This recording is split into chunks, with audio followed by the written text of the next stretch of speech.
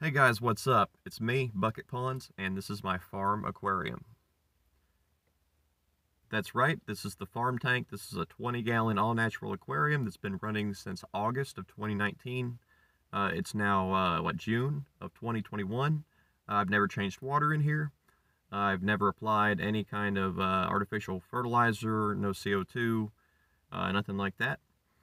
Uh, for substrate, I use uh, different grades of sand, including some sand sourced from my own yard, uh, along with some marble chunks, large marble stone. Uh, so there's a lot of nutrients in here. There's a lot of uh, calcium and things floating around.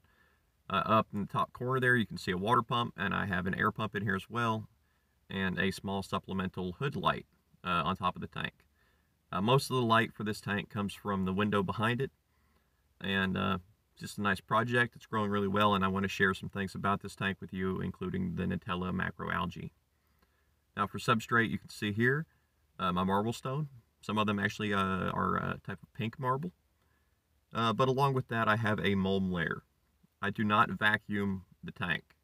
Uh, along with, uh, you know, refusing to do water changes, I also refuse to vacuum. It's almost the same technique, the same chore could be applied to both things and uh, I'm not doing either one of them.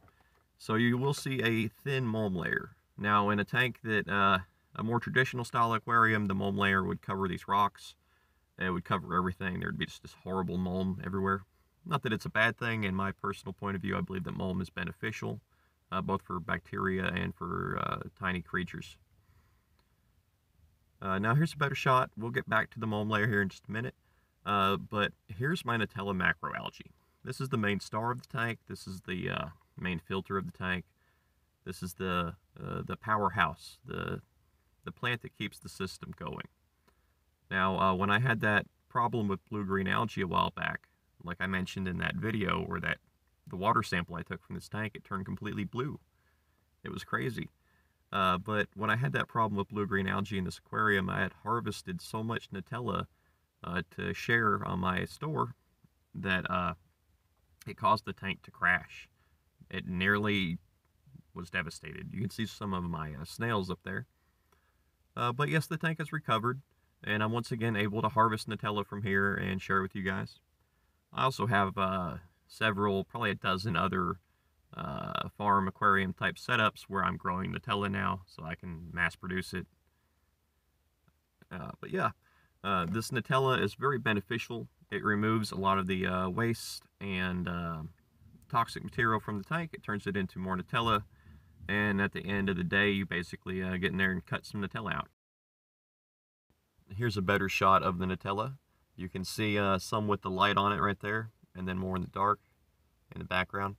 Uh, it might have a slight blue-green algae uh, look to it, but that's just what happens when you have such a large mass of Nitella with the sunlight behind it.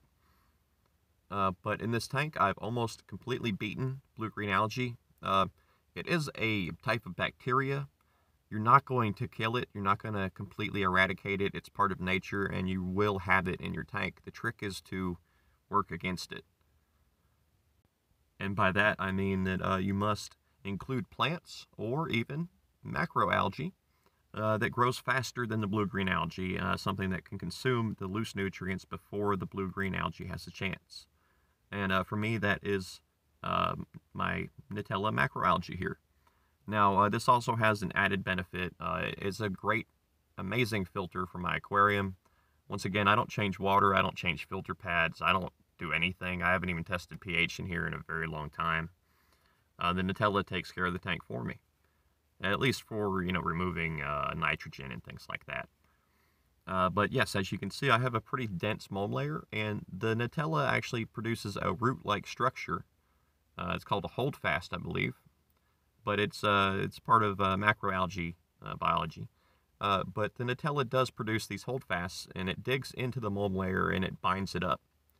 It keeps it pinned down, and it helps to control things a little bit. You see my mulm layer almost looks like sand it's very evenly distributed. It's not clumpy brown stuff like you would expect in a traditional aquarium.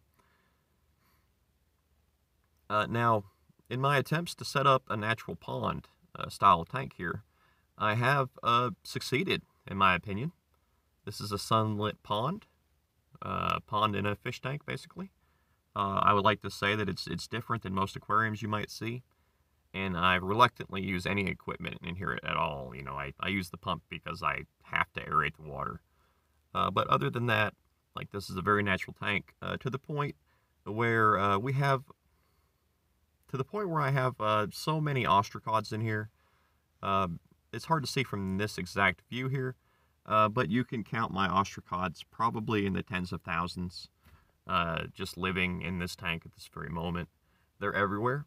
Um, they do a great job of cleaning up every little bit of food, every little bit of edible material they consume. And uh, they don't eat the macroalgae. Nothing seems to eat the Nitella, which is another benefit. And uh, yeah, I'm going to cut to a scene right now because I want to show you exactly what I mean about these ostracods.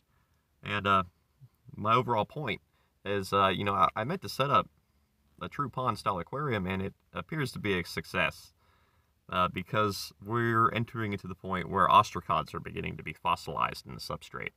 Uh, it sounds a little crazy, but let's check it out. So here's the uh, substrate layer, right, in that bottom corner of my tank in the lower right corner. And as you can see, uh, we have uh, tons of ostracods both above and below the surface of the substrate. Uh, now, all those ostracods are about the same size down there, so they seem to be dying from old age, and then drifting to the bottom, and then being buried in the subsequent mulm layers. You'll also see some things moving around through those layers down there. Uh, there are some snails, and uh, I assume uh, some diving beetles, though I couldn't get a very good picture of them. Uh, but you can see uh, at the very top of the substrate layer, we have my detritus worms, along with some other small creatures. They're doing their job. They're breaking down this mulm, they're decomposing it, and we get a little dark here for some reason. Mm-hmm. There we go. Uh, but they're breaking down the mulm, uh, they're controlling it, they're helping me maintain the tank, and that mulm is in is then becoming a substrate. It's becoming like a soil, burying those uh, ostracods there and begin, uh, beginning the process of fossilization. It sounds a little weird, but that's basically what's happening here. We've set up such an effective uh, simulation of a natural pond. It's developing uh, stratification, soil layers, and uh, we're beginning the process of fossilizing uh, ostracods. Now, I don't think I'll even live long enough for that to be a possibility, uh, but there it is in the microcosm. You get an idea of how it works. These ostracods live here. You see all bunch of them there. They live here, they die, they reproduce, and they, you know, their life cycle and then they pile up in the bottom and get buried. Other creatures build up the soil layer on top of them, and that's it. And now a little further uh, higher up in the water column in the tank here, you can see more of my Nitella. This is the Nitella as it looks when it's uh, simply growing in the water column, and it is pinned to the bottom, kind of like a root. Uh, but it provides a strong habitat for all of these ostracods and several other small species in here. Uh, it's really amazing the uh, numbers of ostracods you can keep in an aquarium that has Nitella. And uh, now it's not just ostracods. Some of my other tanks are loaded with snails and infusoria, and uh, especially detritus worms. Uh, turns out Nitella is a very uh, useful filter for water, and uh, I believe humans should make use of it too. But, you know, we're quite a bit behind the times when it comes to natural methods. Uh, so yeah, this is what the Nitella looks like in the middle of the tank. You know, it's very stringy green. It is very plant-like. And I would call it a beneficial macroalgae. It's not a problem. It's not going to poison your tank. It doesn't stink. It actually smells pretty nice when you pull it out of the water. Uh, but let's look at some other things in here that I want to show you. Now, I did say that this was a bioactive aquarium. And uh, it's a lot more than just ostracods. You can see several tiny uh, worm species here cruising around. Some kind of nematode or something like that. And then you have the green hydra. Now, for a while, I was uh, struggling with ideas about how to raise them and how to do it. I was reading various projects and scientific papers online. And uh, just here recently, you know, I remembered, oh, wait, I'm growing vast numbers of green hydra in my farm aquarium. So there you go. Uh, you know, you could think of my farm tank as a massive live culture. It's not just a monoculture, it's several different species. Uh, to me, it's like uh, planting a bunch of vegetables in a small spot. That way you have a whole salad when it's done growing. That's a big understatement. But that's basically what the tank is. I'm not just raising ostracods. You know, I'm not just culturing fish, which is what you could call if you were a guppy breeder or something like that. Uh, but I'm raising all of these different creatures together and trying to identify like how are they useful in this tank and what are their purposes. Now my green hydra, obviously they catch and kill small prey. And they also, uh, you know, reproduce and form more, more hydra. There's quite a few of them in here, and this is filmed with the macro lens, so uh, you get an idea they're very small. But even in this small section of the tank here, you can see several of them. And they're very beautiful and graceful creatures. Uh, you shouldn't worry too much if you have green hydra. They're generally uh, not going to hurt your larger fish. And uh, I like to see them myself. I've never had a problem with them. I've raised uh, tons of guppies that have actually like fed on green hydra, so don't worry too much. Here's another shot without the macro lens, and you can see the vast number of hydra. They're very dense here, and they do, uh, at first glance, look like a stringy algae or something, but when you get in a little close, you realize that, oh no, that's one of those hydra things. And uh, green hydra is kind of like a uh, like a small jellyfish that glues itself to a rock or to the glass in your tank. And uh, though they can harm some small fish, and there may be larger hydra out there, uh, my green hydra are uh, basically placid and harmless to my fish, at least in my experience. But yeah, guys, I wanted to show you some details about how I grow Nitella macroalgae in my farm aquarium. Now you have some knowledge and some ideas. Uh, you know what substrate I use. I use mixed grades of sand. I use marble, marble chunks.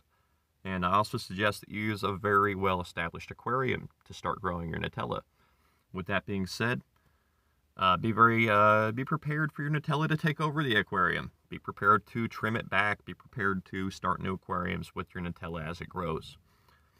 Um, as for heating, cooling, things like that, uh, the only temperature I can advise is I don't know, keep it warm. Keep it warm in the tank. Uh, I don't check temperatures in my aquariums. I just keep it next to a window so it does however well it does, and it's worked out great for this Nitella so far. So that, let that be another lesson. Uh, if you're having trouble growing your Nitella, put it in a jar, set it outside, let it get some sunlight. It sounds a little crazy, but I've had Nitella take over uh, a complete jar yeah, I've had it take over a complete jar just by setting some water in a jar out in the sunlight with a little Nitella scrap that I forgot about. After a few months, it grew like crazy.